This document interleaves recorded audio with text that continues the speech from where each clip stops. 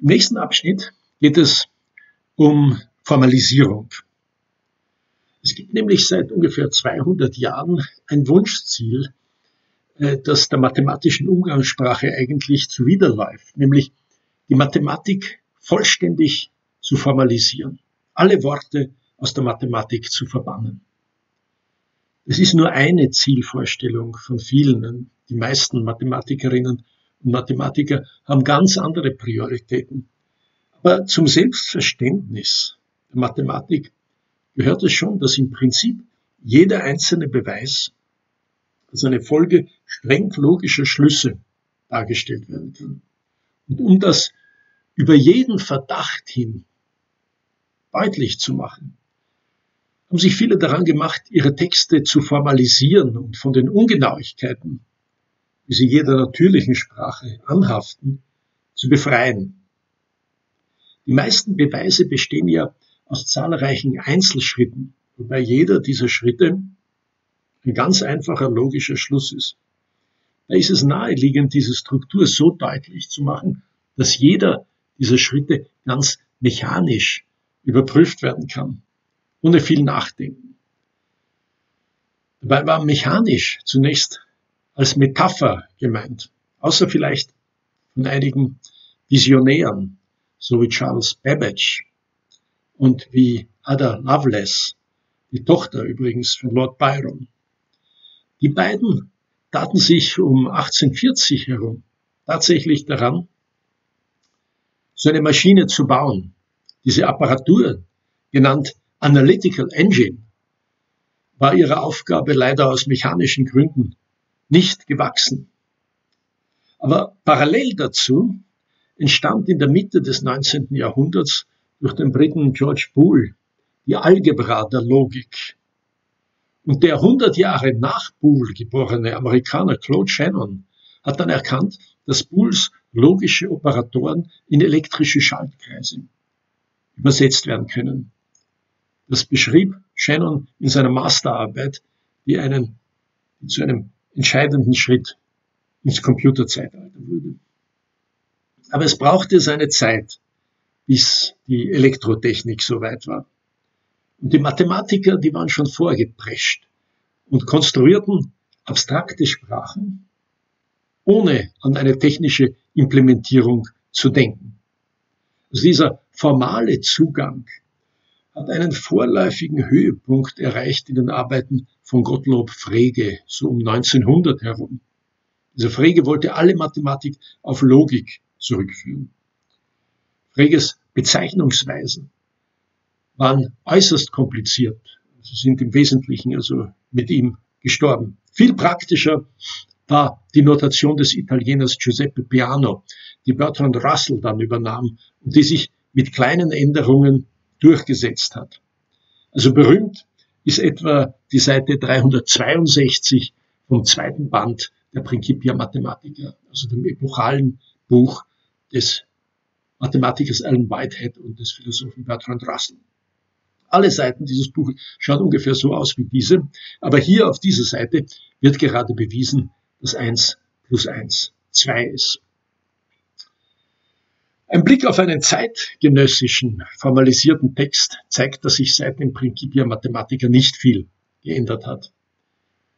Man kommt mit einer formalisierten Sprache von sehr wenig Zeichen aus. Ein Dutzend reicht ohne weiteres. Eine mathematische Aussage kann demnach als eine gewiss eine Aneinanderreihung von diesen Symbolen aufgefasst werden. Und ein Beweis als ein Text, bei dem jede Zeile nach gewissen ganz einfachen Regeln aus den Zeilen davor abgeleitet wird. Das sind Regeln, die jeder Computer mühelos überprüfen kann. Also die Schreibweise, die wir hier sehen, die ist fast schon maschinengerecht. Und diese Formalisierung erlaubt es, Beweise tatsächlich mechanisch zu überprüfen. Zunächst war das eine grundsätzliche Behauptung ohne praktische Auswirkung. Aber seit vielleicht 40 Jahren gibt es tatsächlich Programme, die Beweise, sofern sie hinlänglich präzise sind, nach allen Regeln der Kunst formalisieren und überprüfen können. Sogenannte Theorem Verifiers wie etwa Metamat. Diese Theorem Verifiers werden allerdings relativ selten verwendet. Der Grund ist, Mathematikerinnen und Mathematiker wollen ja die Beweise verstehen. Und da helfen Verifiers wenig. Und es ist zwar wichtig, Fehler in Beweisen zu finden. Das kommt öfter vor, als man glaubt. Aber die meisten aus unserer Zunft denken sich, entweder ist das Resultat so unbedeutend, dass es niemanden interessiert, dann ist es auch nicht sehr wichtig, ob richtig oder falsch. Oder aber das Resultat ist bedeutsam. Dann werden sich andere Mathematikerinnen und Mathematiker damit befassen. Und dann kommt bestimmt einer auf den Fehler drauf. Das ist vielleicht etwas zu lässig gedacht, aber es ist doch immerhin pragmatisch. Übrigens ist es eine Heidenarbeit, einen normalen Beweis für einen Theorem Verifier aufzubereiten. Typischerweise braucht es da für eine Seite mathematischen Textes ungefähr eine Woche. Und der Grund ist, in den üblichen mathematischen Texten, da steht so viel zwischen den Zeilen. Die Verfasser verlassen sich darauf, dass dieser Kontext beim Lesen mitgedacht wird. Zum Beispiel, ob mit dem Symbol 2 eine natürliche Zahl oder eine reelle Zahl oder eine komplexe Zahl gemeint ist, das versteht sich mühelos aus dem Kontext. Aber für die Formalisierung ist es jedes Mal ein ganz anderes Objekt. Die mathematischen Texte erlauben sich also eine gewisse Schlamperei, Abuse of Notation, wie es so schön heißt. Und die zu beseitigen, führt zu entsetzlich langen und unverdaulichen Aussagen. Einen Schritt weiter als der Theorem Verifier geht der Theorem Prover. Der soll sogar Beweise selbst finden und kann es auch manchmal, obwohl die bisher besten Leistungen noch nicht weltbewegend sind. Es gibt bereits eine ganze Reihe von sogenannten interaktiven Theorem Provers mit so schönen Namen wie Koch oder Isabelle oder Misar und so weiter. Sie werden selten verwendet, zum Teil weil es so schwierig ist, mit ihnen umzugehen. Das Einarbeiten in diese Theorem Provers dauert Jahre. Etwas anderes sind die Assistenzeinsätze von Automated Reasoning für ungeheuer komplizierte Beweise, von denen man nicht völlig sicher war, ob sie stimmen. Ein Beispiel ist der Beweis von Tom Hales für die Keplersche Vermutung, nämlich dass die dichteste Lagerung von gleich großen Kugeln im Raum äh, jene ist, die einem sofort in den Sinn kommt. Man staple Schicht um Schicht, innerhalb jeder Schicht wird jede Kugel berührt jede Kugel sechs andere und bei der nächsten Schicht wird jede Kugel zwischen drei Kugeln von der unteren Schicht platziert. Es ist anschaulich ziemlich evident, dass man nicht enger packen kann. Das wird in jedem Obststand auch so zum Einsatz kommen. Aber der Beweis, der ließ 300 Jahre auf sich warten und war entsetzlich kompliziert. Und Teams von Gutachtern haben ihn überprüft und sind nach jahrelanger Arbeit zum Ergebnis gekommen, ja, es ist wahrscheinlich richtig, aber ganz sicher kann man nicht sein. Daraufhin hat Tom Hales wieder in vieljähriger Arbeit ein Programm geschrieben, das jeden einzelnen Schritt des Beweises überprüft hat. Also hier ging es darum, eine von Menschen erdachte Beweisstrategie mit ungeheuer vielen Fallunterscheidungen tatsächlich durchzuführen.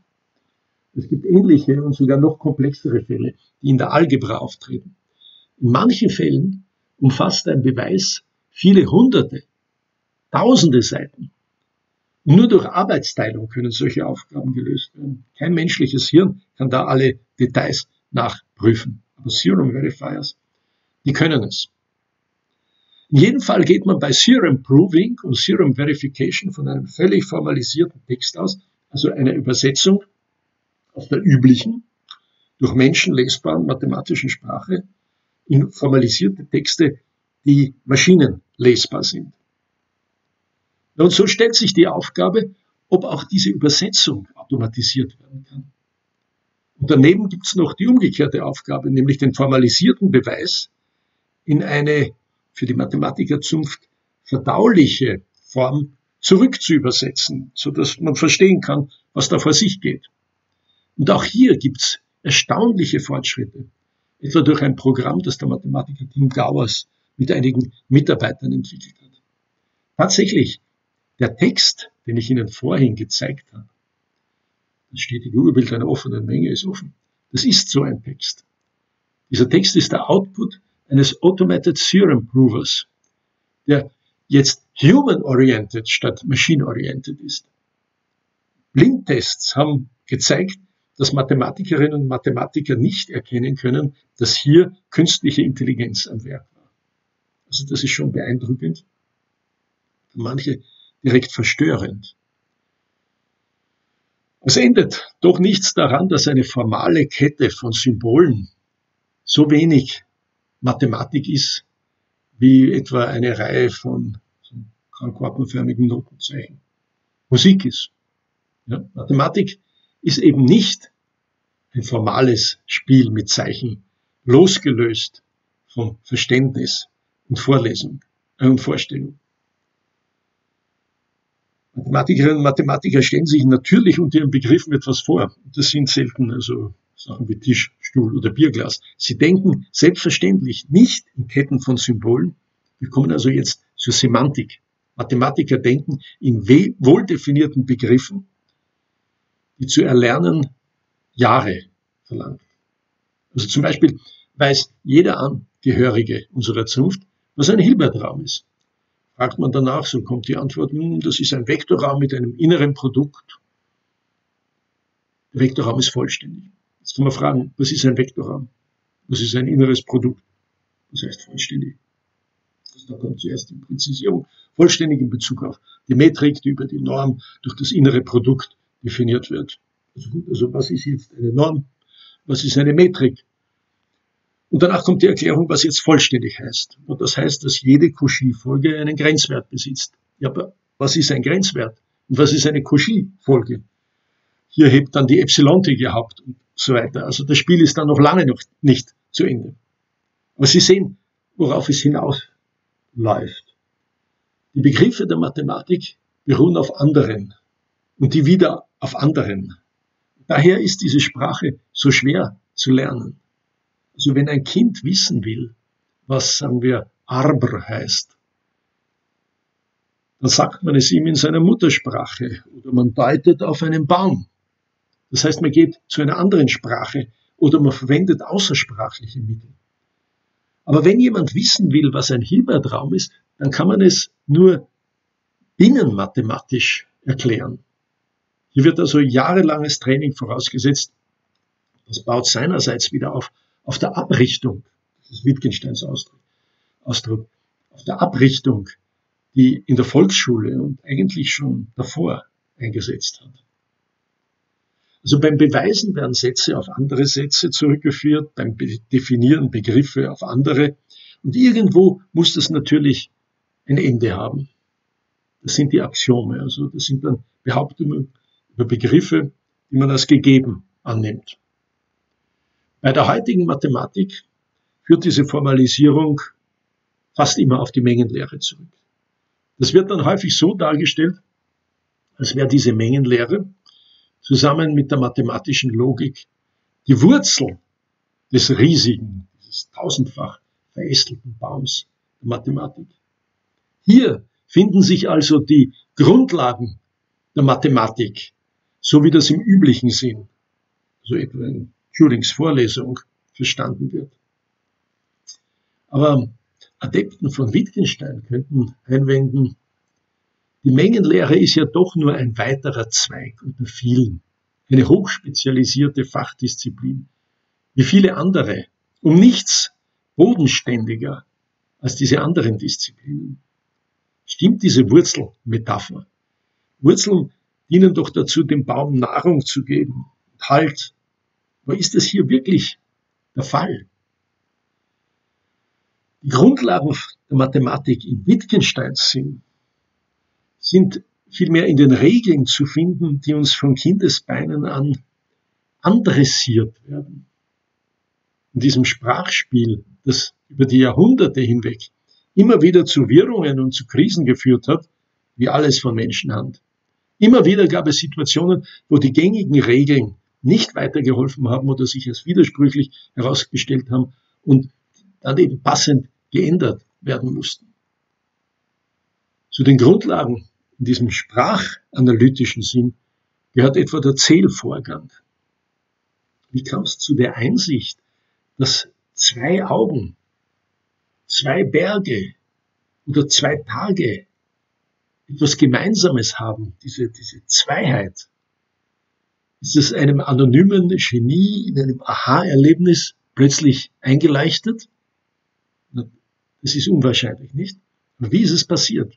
Weiter, wie viele Rechenaufgaben muss ein Kind durchführen, damit es nicht nur die einzelnen Rechenschritte, sondern den Begriff der Rechenregel selbst innehat. Bedenken wir auch, wie lang hat es gedauert, bis sich etwa der Begriff der Funktion herausgebildet hat oder der Begriff der Null oder der Begriff des Programms. Hier entfaltet sich ein Regelwerk langsam ganz wie von selbst.